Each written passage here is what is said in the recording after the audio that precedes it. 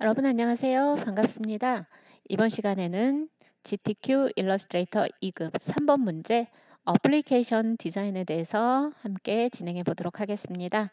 자, 최종적인 출력 형태는 화면에서 보시는 바와 같은데요.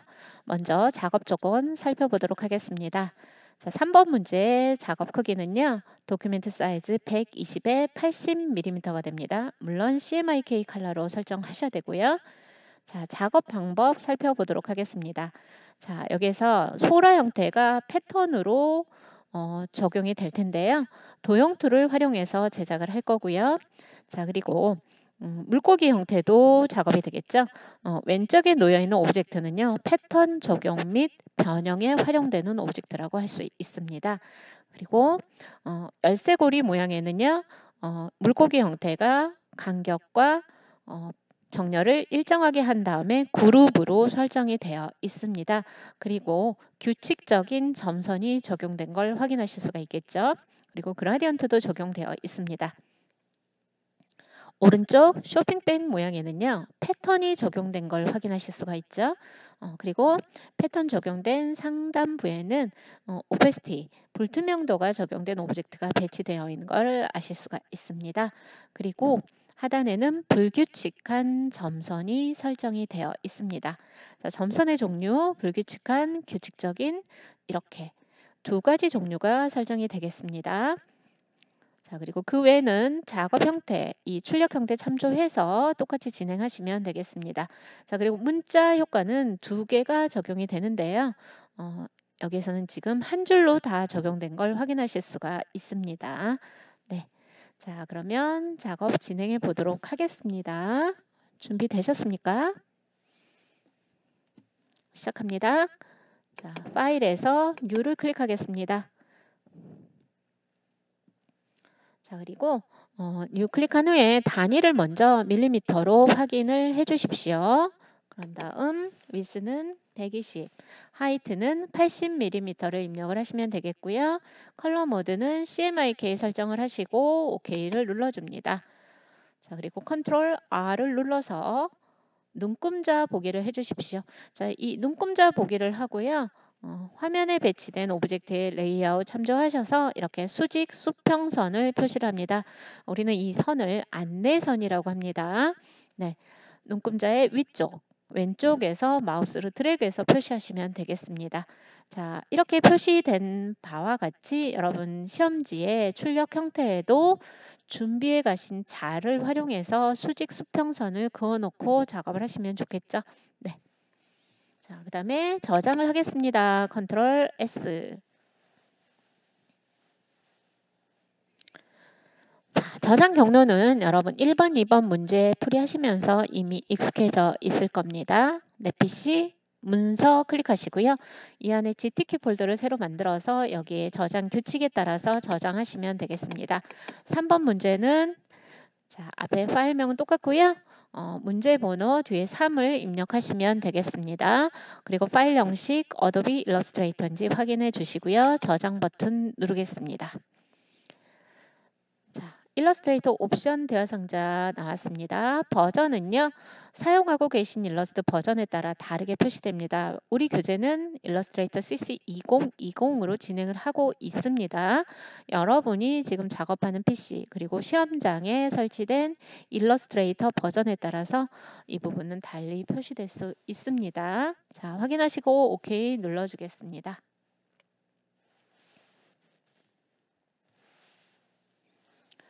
먼저 화면에서 보시는 바와 같은 물고기 모양 object를 만들겠습니다. 자, pen tool을 선택을 하시고요.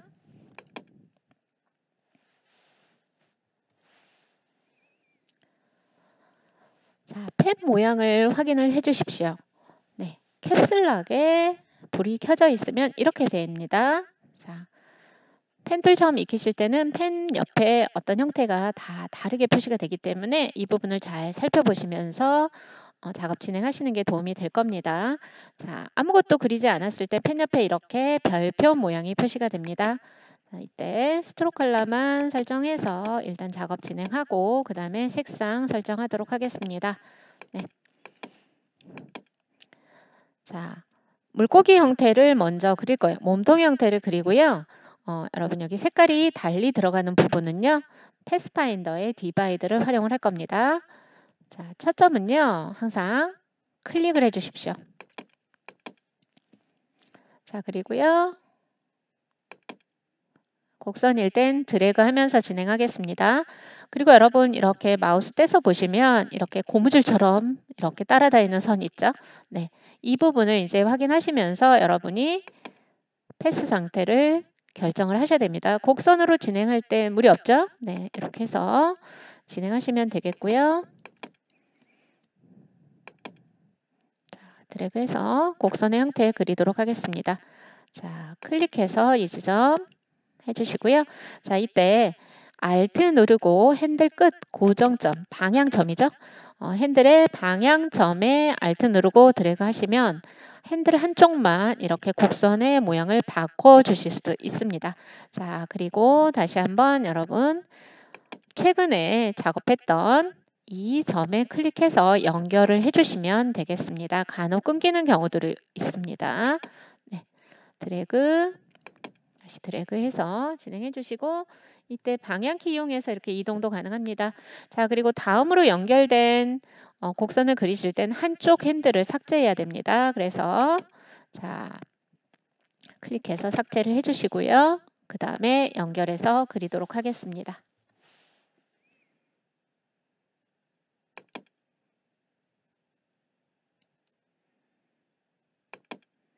자 이때도요. Alt 누르면서 한쪽 핸들 조정하실 수 있어요. 네.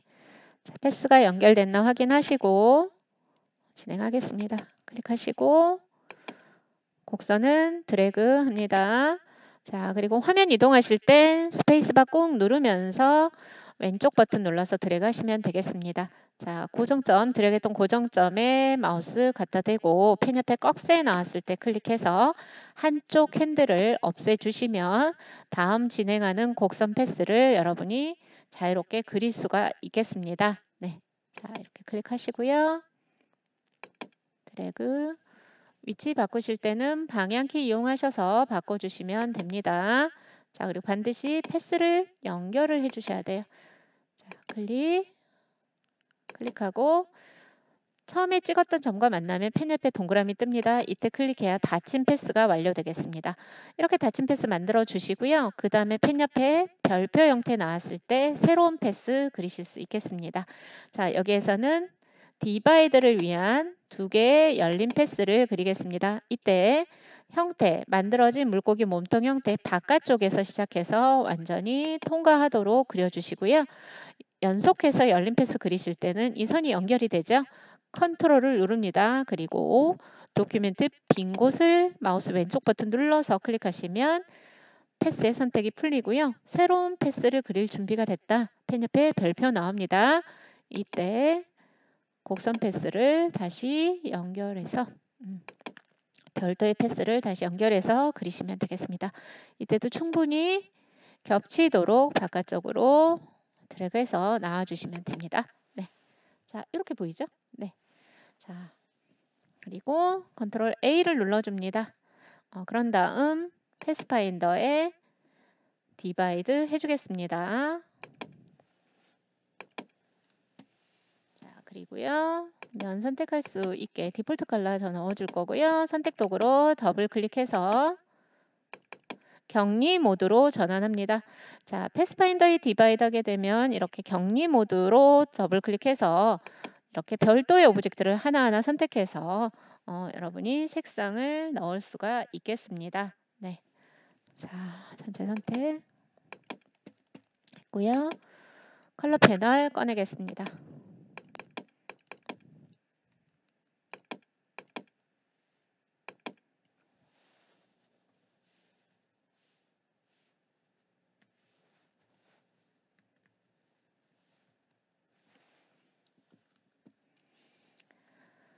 자, 이렇게 해주시고요. 자, 선택을 제가 반전을 해보겠습니다. Select 메뉴 보시면 Inverse가 있습니다. 그러면 나머지 두 개의 object로 반전되는 걸 확인하실 수가 있죠. 네, 자, 이 부분은 C가 40%면 되겠습니다. 자, 이렇게 설정을 했고요. 음, 전체 선택해서 stroke color None을 설정하시면 되겠습니다. 자, 선택 도구일 때 document 빈곳 더블 클릭하시거나 ESC 누르면 어, 격리 모드, isolation mode에서 정상 모드, normal mode로 전환이 되겠습니다. 자, 그런 다음 지느러미 형태도 여러분 순서대로 그려주시면 되겠습니다.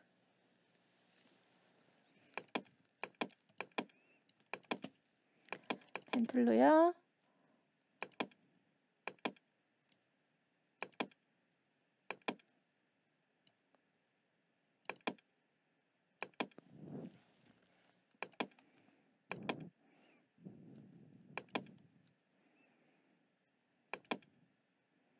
직선일 땐 클릭만 해주시면 되겠고요.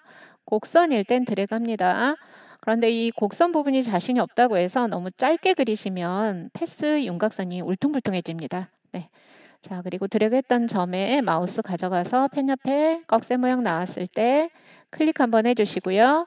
다음 path 그리는 단계로 넘어가서 자, 처음 찍었던 점과 만나면 이렇게 완료된 path를 완성하실 수가 있습니다. 네. 자, 그리고 이제 등 지느러미 부분을 그리도록 하겠습니다.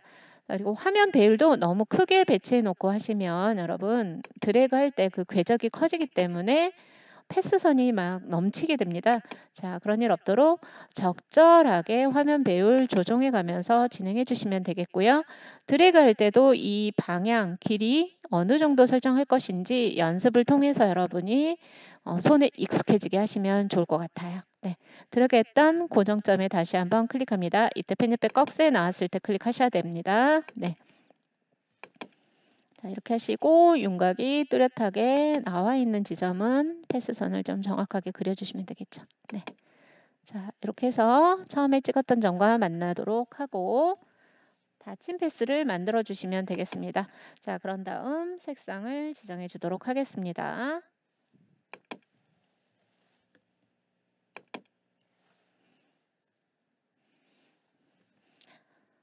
지느러미 부분을 만들었고요. 이제 보시면 여러분 여기 그리던 중에 겹쳐 있는 지느러미는 어레인지를 사용해서 어때요? 뒤로 보내게 해주시면 되겠네요.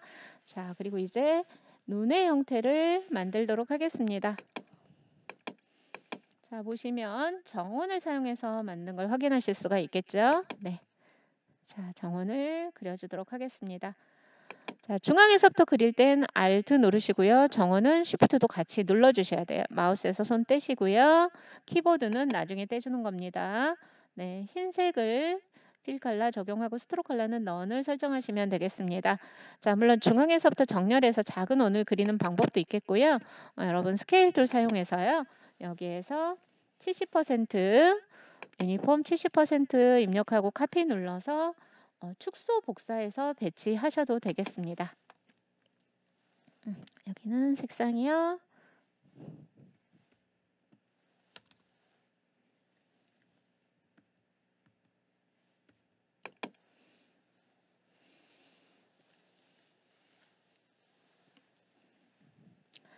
자, 기왕에 동일한 컬러가 있다 object가 작업 document에 존재했을 때는요. 이렇게 eyedrop tool로 어, 클릭해서 어, 색상을 지정하는 방법도 있겠습니다. 자, 화면과 같은 소라 모양의 오브젝트를 만들 텐데요. 어, 왼쪽 형태 그린 후에 오른쪽은 변형해서 배치한 겁니다. 자, 진행해 볼게요. 자, pen tool로 소라 모양 윤곽을 다 그려주실 거고요. 물론 이제 그리실 때 이 부분 직접 따라서 그려도 되겠습니다. 하나, 여기에선 pathfinder의 minus front라는 방법을 익혀보도록 하겠습니다. 그리고 좌우에 이렇게 라인이 칼로 자르듯이 이렇게 배치가 돼서 색상이 다르게 들어간 것들은 pathfinder의 divide 활용할 생각을 하시면 되겠습니다. 자, 그럼 pen tool 사용해서 모양을 그려줍니다. 자, 이때도 fill color는 면을 채우려는 속성이 있기 때문에 stroke color만 설정하고 해주십시오. 드래그 한 다음에 직선으로 방향을 전환하실 때는 드래그 했던 고정점에 다시 한번 mouse over해서 펜 옆에 꺽쇠 나올 때 클릭하시면 되겠고요. 그 다음에 곡선으로 그린다 하더라도 여러분 다음 그려질 곡선의 길이 방향 설정하실 때 불편하다 그러면 다시 한번 고정점 드래그했던 고정점에 클릭해서 한쪽 핸들 삭제하고 진행하셔도 되겠습니다. 자 그리고요 어, 그리던 도중에 Alt 눌러서 핸들 끝 방향점 있죠? 여기에 드래그 하시면 이렇게 별도로 한쪽만 또 선택해서 패스 모양을 바꾸실 수가 있겠습니다. 자, 이 부분도 이렇게 통과해서 그리도록 하고요. 이렇게 해서 닫힌 패스를 완료하도록 하겠습니다. 자, 색상 지정할게요.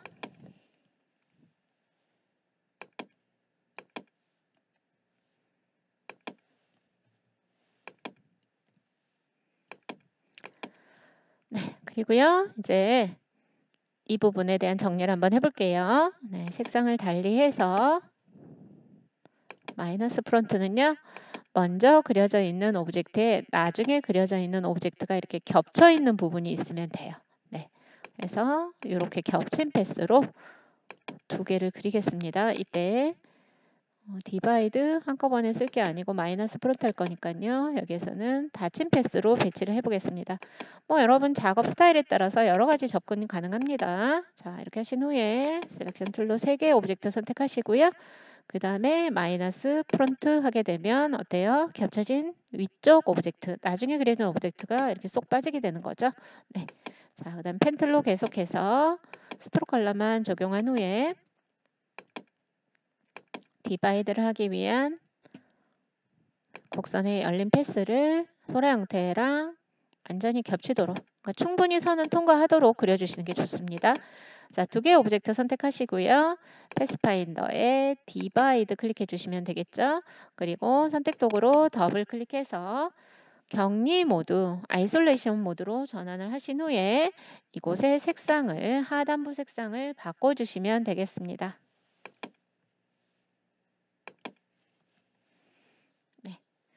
자, 그런 다음 ESC 눌러서 정상 모드로 전환을 해주시고요.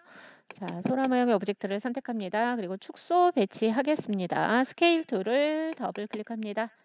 자, 그리고요. 70% 유니폼 70%를 입력하시고 copy를 눌러줍니다. 자, 그리고요. 회전하겠습니다. rotate tool을 더블 클릭합니다. 앵글 마이너스 45를 입력하고 OK를 눌러주시고요. 자, 배치에 맞게 이동해서 배치하시면 되겠습니다. 그런 다음 더블 클릭해서 격리 모드로 전환하고요. 위쪽 오브젝트만 선택해서 색상을 바꿔주시면 되겠습니다.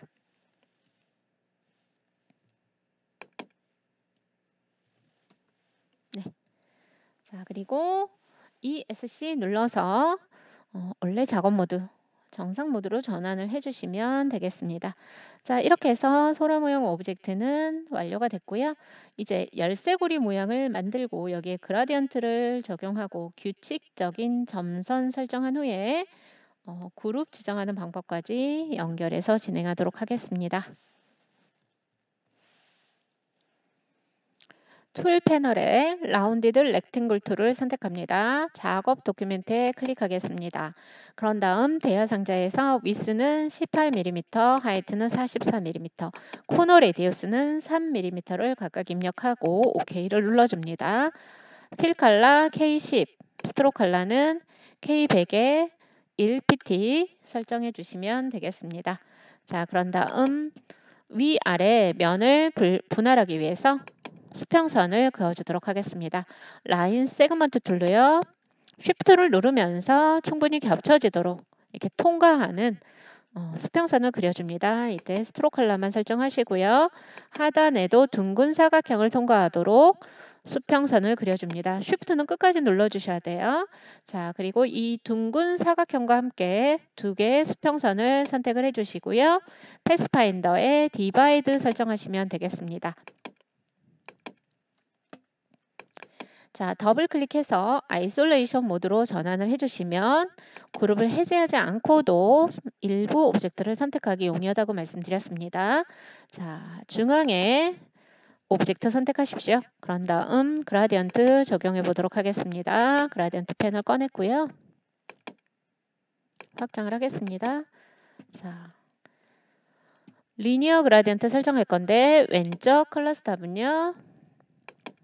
색상 CMYK로 설정해 주시고요.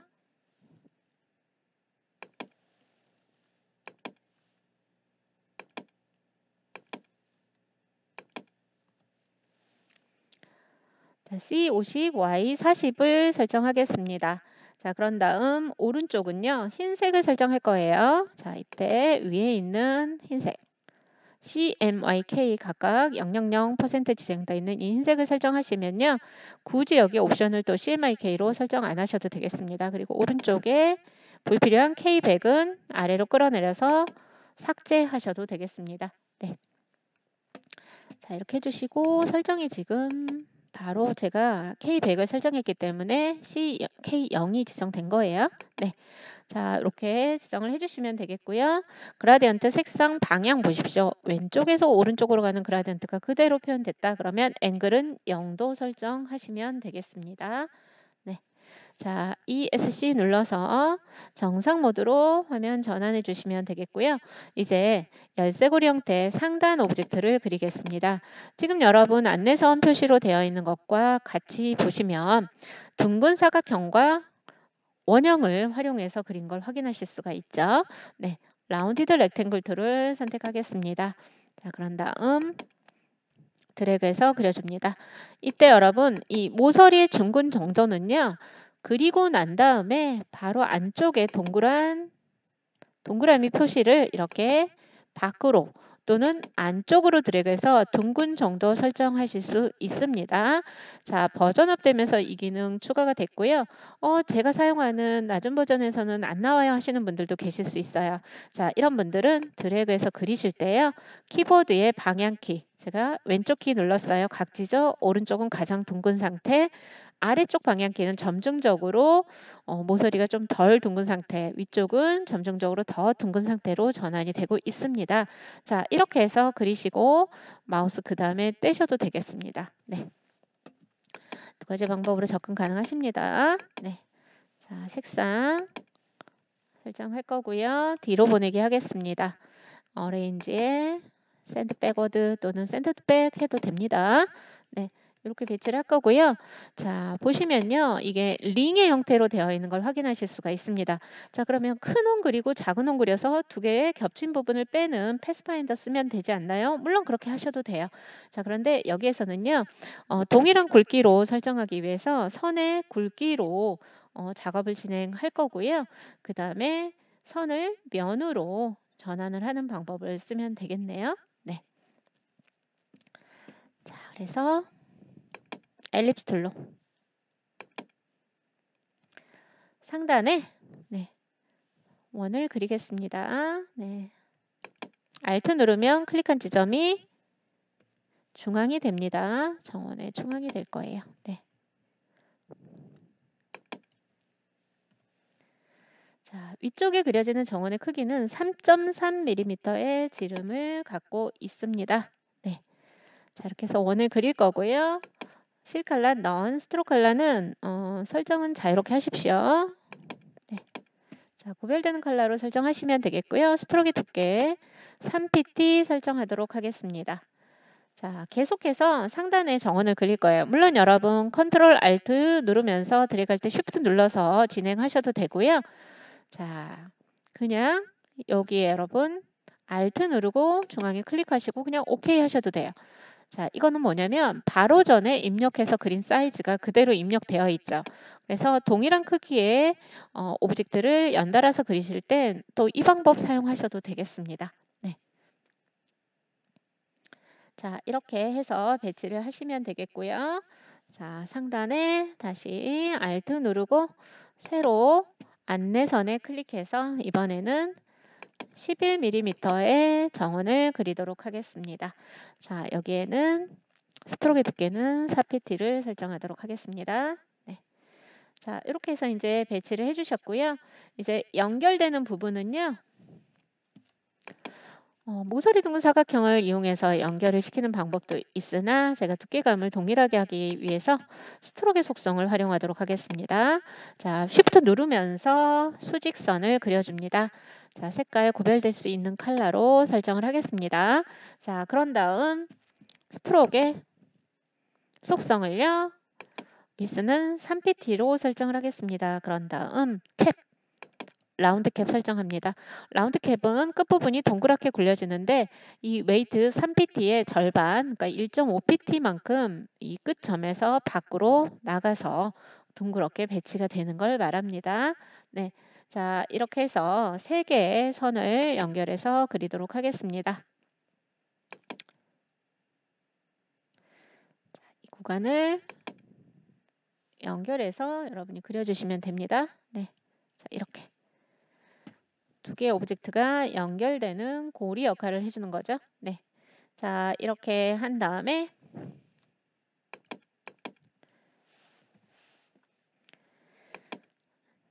자, 면으로 설정할 object를 선택을 해줍니다. 아, 이것이 조금 반듯하지 않네요. 제가 반듯하게 다시 그리겠습니다. Shift 끝까지 눌러주시고 그려주시면 되겠습니다.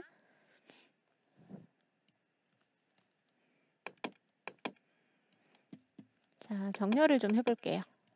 정렬, Align에 Horizontal Align Center 클릭해 주시고 다시 자, 선의 속성을 면으로 바꿔주는 건 Object Path의 Outline Stroke가 되겠습니다. 자, 그런 다음 맨 뒤로 보내기 할게요. 자, Arrange에서 맨 뒤로 보내기 하셔도 되고 Control Shift 왼쪽 대괄호 누르셔도 되겠습니다. 자, 그런 다음 색상은요. 아래 배치한 object 색상대로 설정을 해주도록 하겠습니다. 네, Eyedropper Tool 사용해서 클릭해 주시면 되겠습니다. 네.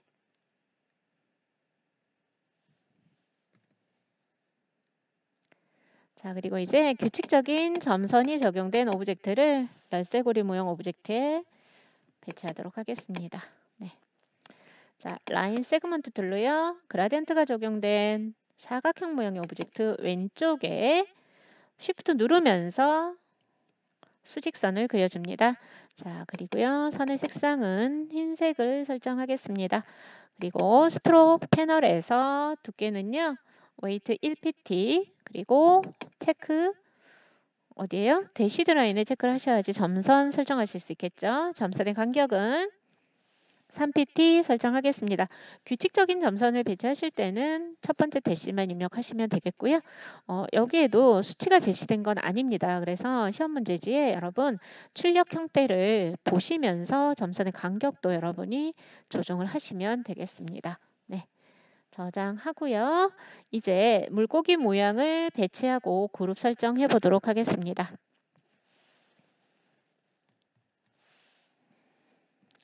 자, 작업 작업 document 왼쪽 상단에 물고기 모형 object를 선택합니다. 자, 이때 여러분 이 물고기 모형 object도 이렇게 여러 개의 object를 결합한 상태이기 때문에 선택했을 때 어, 선택이 용이하게끔 Control G를 눌러서 그룹으로 설정을 해두시면 더 편리하겠습니다. 그러면 물고기 object 일부만 클릭해도 이렇게 선택이 되는 걸 확인하실 수 있죠. 네, 자, 이 물고기 모형 object를 선택을 하시고요. 자, 축소하고 회전해서 열쇠고리 모형 object에 배치하도록 하겠습니다. 자, 선택하고 Control C, Control V로 붙여넣기 합니다. 여러분 Control C, Control V를 하게 되면 지금 만들어진 어떠한 object보다 맨 위쪽에 배치가 됩니다. 그래서 Arrange를 따로 안 하셔도 되겠습니다. 자, Scale Tool을 더블 클릭해서 유니폼 25%를 설정을 하고요. 네, OK를 눌러줍니다. 자, 그런 다음 Rotate Tool을 더블 클릭해서 대화 상자에서 30도 회전한 후에 OK를 눌러줍니다. 자, 그리고 열쇠고리 상단에 배치를 하시면 되겠습니다. 자, 중앙에 배치를 하겠습니다. 자, 저장하면서 진행해 주시고요. 자, 이제 Selection 선택 도구로 자, 여기에 Alt, Shift 누르면서 하단으로 복사해서 배치하도록 하겠습니다.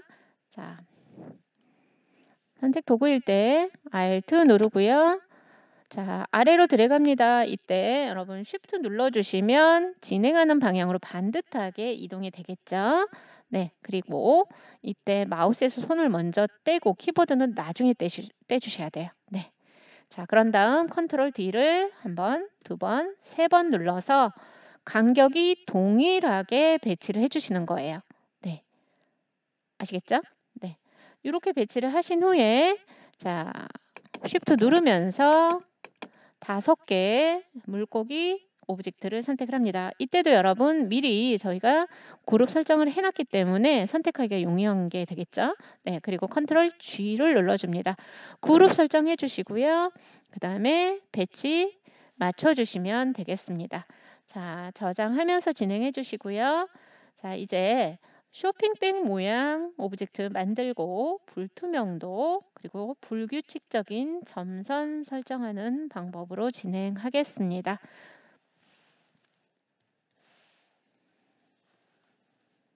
Rectangle Tool을 선택합니다. 자, 작업 document에 클릭하겠습니다. 그런 다음 대화 상자에서 44, 57mm를 각각 입력하고 OK를 눌러줍니다. 중앙 맞춰줄게요. 네.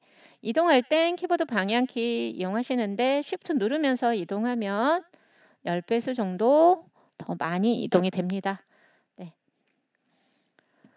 네. 자, Fill Color랑 Stroke Color 설정을 각각 해주시고 Stroke Weight는 1포인트를 0.5로 설정하겠습니다.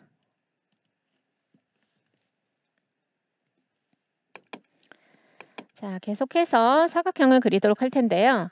사각형 선택, 렉탱글 툴로요. 이 10초 포인터 나왔을 때 이미 그려진 사각형 왼쪽 위 모서리 있죠? 네, 이곳에 클릭하겠습니다. 이 왼쪽 상단 고정점에 클릭을 하게 되면 어, 입력해서 그리는 사각형이 이 여기에 정렬이 됩니다. 네, 자 여기에 43.8mm 그리고 45mm 각각 입력한 후에 OK를 눌러줍니다. 자, 그럼 이렇게 정렬되는 걸 확인하실 수가 있죠. 네.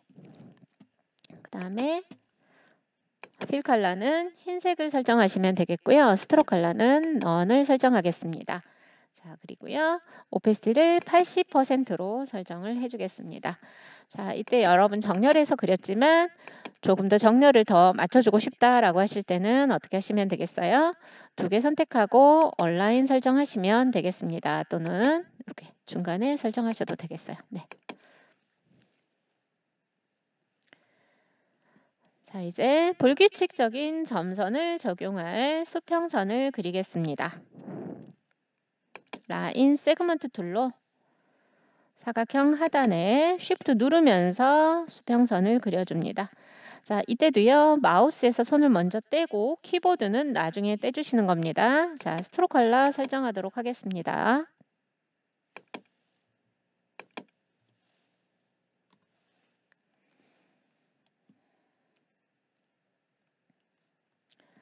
자, 그리고 이제 연속해서 그릴 때 여러분 이 Opacity가 먼저 설정한 Opacity 80%가 설정되는 경우도 있습니다. 이때는 여러분 Opacity 100%로 다시 한번 세팅을 해주시면 되겠습니다. 자, Stroke 패널에서 Stroke Weight는 2포인트 설정할 거고요. Dashed Line을 체크해서 점선 지정할 텐데 자, 여기 첫 번째 대시는 17 PT를 그리고 첫 번째 갭은 3을 그리고 다음 대시는 6을 그리고 두 번째 갭도 3을 설정을 해주겠습니다. 네. 자, 이렇게 해서 불규칙적인 점선을 그려서 배치를 했습니다. 자, 이 점선 간격에 대한 설정은 따로 제시되어 있지 않기 때문에 여러분 출력형 때 참고하셔서 어, 숫자 입력하시면서 최대한 동일하게 맞춰주시면 되겠습니다. 자, 이제 쇼핑백의 끈 모양을 만들겠습니다. 타원 형태의 object를 만들어서 변형을 할게요. 네, Ellipse Tool을 선택합니다. 자, 그리고 수직의 안내선에 Alt 누르고 클릭하면 중앙에 정렬돼서 만들어지겠죠? 네. 위스는 20, Height는 37mm를 입력하고요.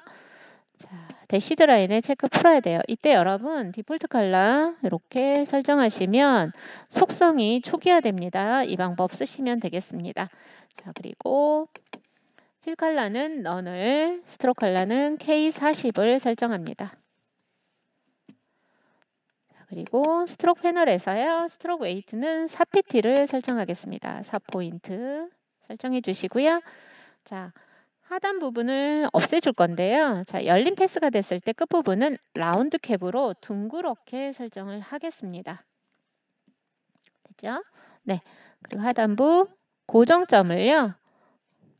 Direct Selection Tool로 하단 고정점 선택하고요. Delete 눌러주면 되겠습니다. 그러면 이렇게 아래쪽이 열린 path 끝부분이 둥그렇게 된 걸 확인하실 수가 있죠. 네. 자, 이렇게 설정을 해주시면 되겠고요. 위치 맞춰줄게요.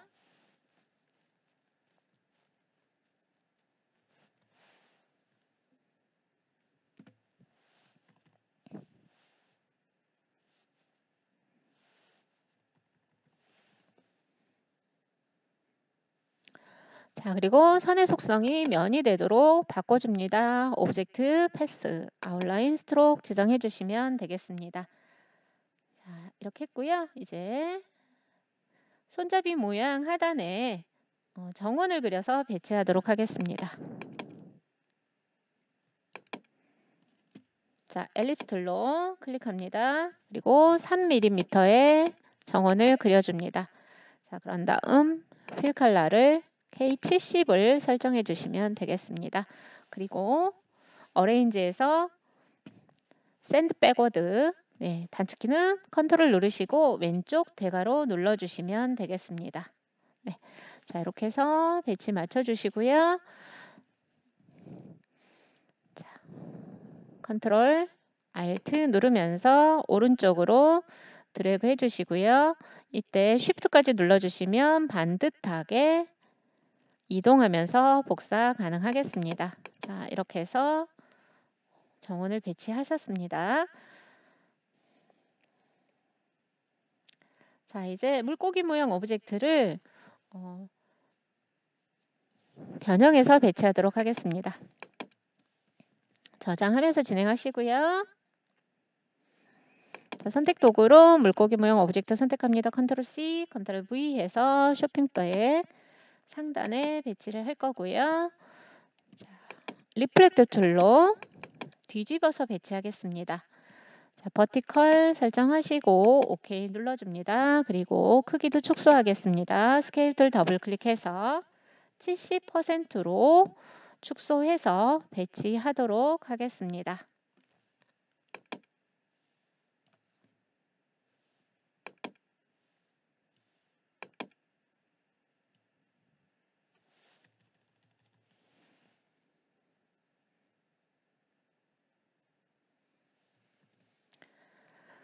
자, 이제 쇼핑백 부분에 여러분 패턴 지정하셔야겠죠. 네, 패턴 정의하겠습니다. 패턴으로 등록할 object는 document, 작업 document 왼쪽 하단에 소라 모양의 object를 그려서 배치해 놓으셨잖아요. 자, 여기에 이제 소라 형태 두 개만 선택해서 패턴 정의하게 되면 주변에 어때요? 여유 공간이 없습니다. 간격을 지정해서 패턴 정의하실 때는요.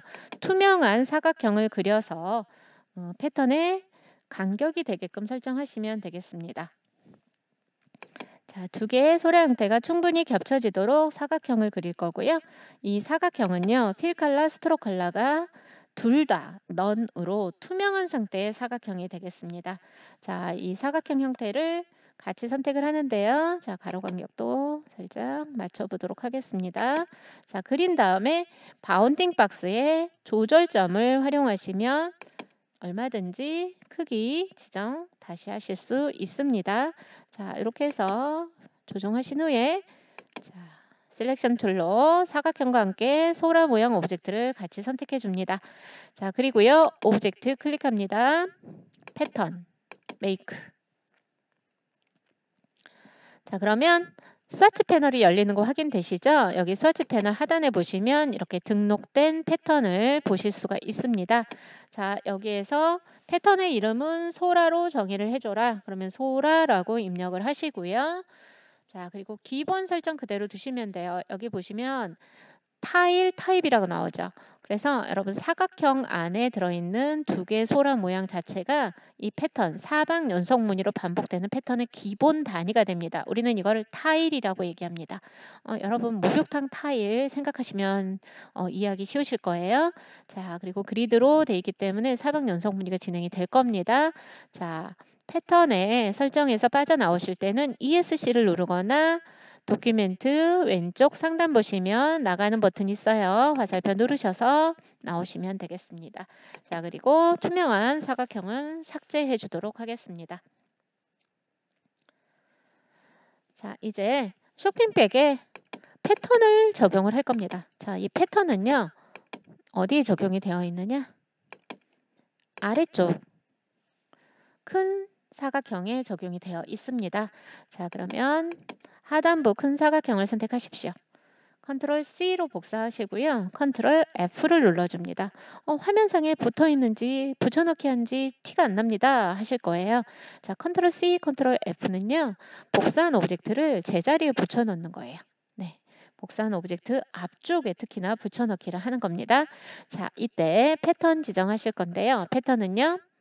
필 칼라에 적용하셔야 됩니다. Stroke 하시면 안 됩니다. Fill Color 적용되어 있을 때 서치 패널 하단에 등록된 패턴 소라를 클릭하겠습니다. 자 그러면 이렇게 Fill Color 면 색상에 소라가 적용된 걸 확인하실 수가 있는데 패턴의 크기를 보시면 등록했을 때 당시의 크기대로 그대로 반영이 되겠습니다. 자 그런데 이제 패턴은요 어, 패턴의 크기를 축소하고 회전하는 방법으로 어, 제시가 됐어요. 네, 그래서 크기 조절하는 Scale Tool을 더블 클릭하겠습니다. 자, Scale Tool 더블 클릭합니다. 그러면 대화 상자에 지금 여기에서는 절반의 크기로 조절할 거예요. 유니폼 50%할 건데 지금 미리 보기 Preview가 체크되어 있어서 확인이 가능하시죠. 이때 보시면 여러분 패턴의 크기뿐만 아니라 오브젝트 크기도 같이 절반으로 줄어든 걸 확인하실 수가 있습니다. 왜? 옵션이 그렇게 돼 있어요. 그래서 반드시 이곳에 체크 표시를 푸셔야 됩니다. 어, Transform Object에 체크 해제하시고요. Transform Patterns에는 체크를 꼭 하셔야 되겠죠? 그죠? 네. 그런 다음 OK를 눌러줍니다. 그리고요. 회전도 해서 배치할 거예요. 패턴에 패턴만 회전할 겁니다. 자, Rotate Tool을 더블 클릭합니다. 자, 여기에서 30도 입력할 거고요. 옵션에 보시면요. 여기에서도 오브젝트는 그대로 둔 채 패턴만 회전할 거예요. 그래서 앞부분 체크 해제, 뒷부분 Transform Patterns에 체크 하셔서 OK를 눌러주시면 되겠습니다. 자, 저장하시면서 진행해 주시고요. 자, 이제 문자 효과 설정해 보도록 하겠습니다. 자, Tool 패널에 Type Tool을 선택합니다. 자, 작업 Document에 클릭하겠습니다.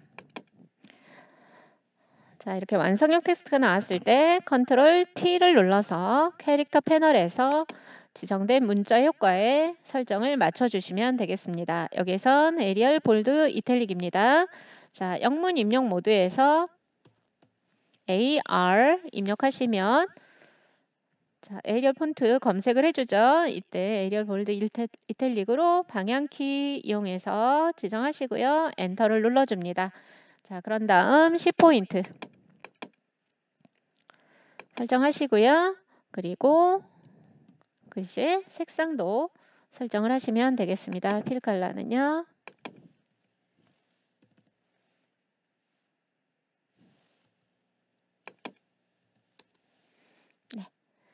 자, 그리고 입력을 해주시면 되겠습니다.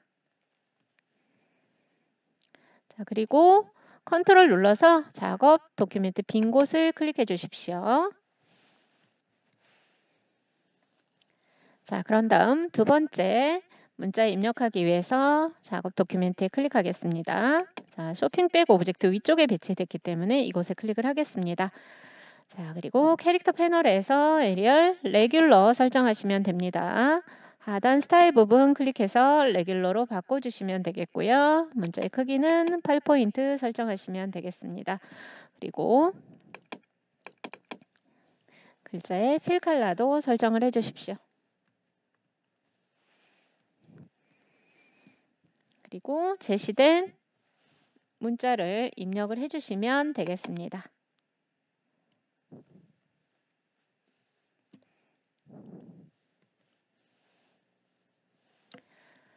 자, 여기까지 하신 후에 문자의 배치도 다시 한번 출력 형태 참고해서 진행해 주시면 되겠고요. 자, 그리고 팁으로 하나 알려드리면요. 패턴에, 패턴에 어, 위치 있죠? 네. 위치를 다시 지정을 하고 싶어요.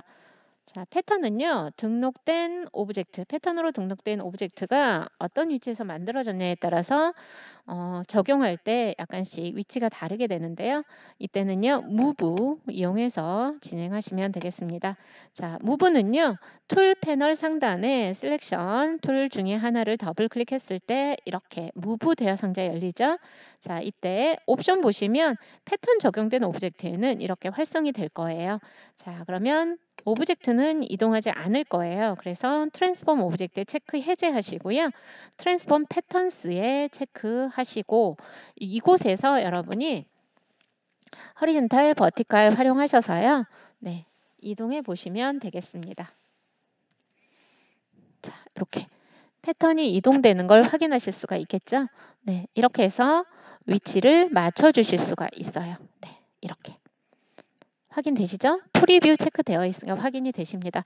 그래서 패턴 적용된 오브젝트 선택하시고 move에서 옵션에 Transform Patterns에만 체크한 상태로요. 허리젠탈과 버티칼에 수치 입력하시는데 음수 양수 다 적용되니까요. 미리 보기 상태에서 확인하시면서 최대한 출력 형태와 동일하게 위치도 맞춰주시면 되겠습니다. 자, 이제 여기까지 하셨으면요. 마무리 단계 들어가셔야죠. 자, Tool 패널 하단에 Hand Tool 더블 클릭합니다. 자, 그래서 현재 창에 맞추기를 해주시고요. 자, 다른 패널 방해 없이 보도록 하겠습니다. 자, 리셋 설정해서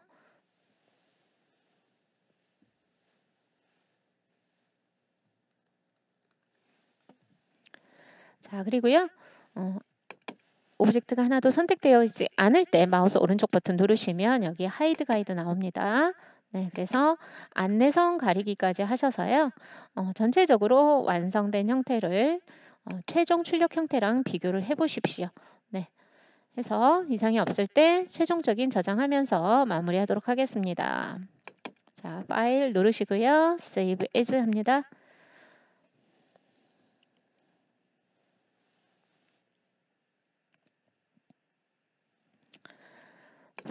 그리고 여러분 저장 경로 다시 한번 확인하시면 되겠습니다. 내 PC 문서 GTQ 폴더 확인해 주시고요. 내 PC 문서 GTQ 폴더 확인하셨으면 파일 이름 오타 없나 확인해 주십시오. 저장하겠습니다. 그러면 여기에 동일한 이름, 동일한 확장자가 이미 존재한다. Replace 덮어 씌우겠느냐? 예 라고 누르시면 되겠습니다. 자 이렇게 하시고요. 옵션에서 버전도 한번 확인을 해 주십시오. 네. 그런 다음 종료하시고요. 답안 전송 프로그램 사용하셔서 답안을 전송하시면 마무리가 되겠습니다. 네. 긴 시간 수고 많으셨습니다. 감사합니다.